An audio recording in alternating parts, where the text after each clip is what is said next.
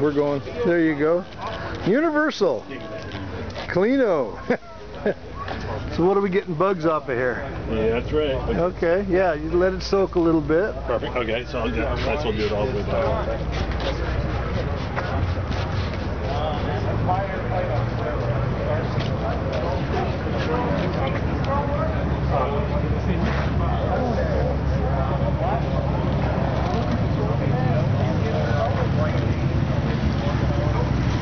There you go. It's ready.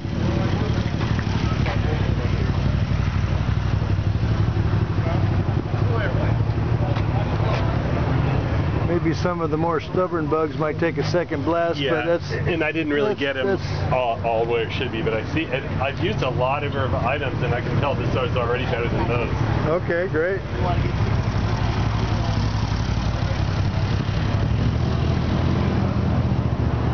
So we're cleaning an RV airplane, Chino Air Park, May 4th, the Chino Air Show.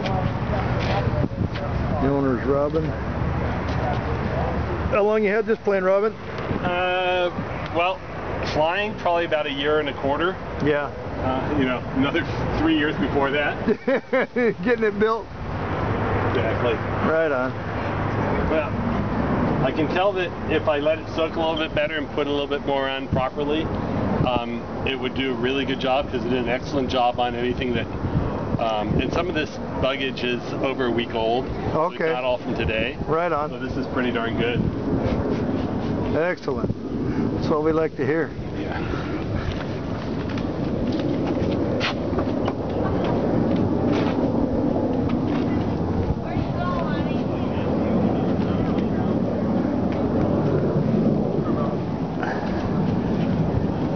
Cleano 3 to 1 is taking the bugs off the airplane.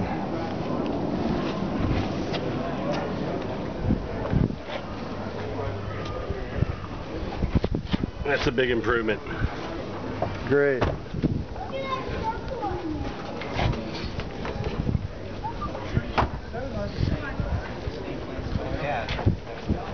Yeah, it's got uh, on our website at cleano.net, we've got a 10 page user guide in the product section. So, I mean, it's literally usable on a lot of different things. So just, yeah, get all your underwipe there. A little further to go.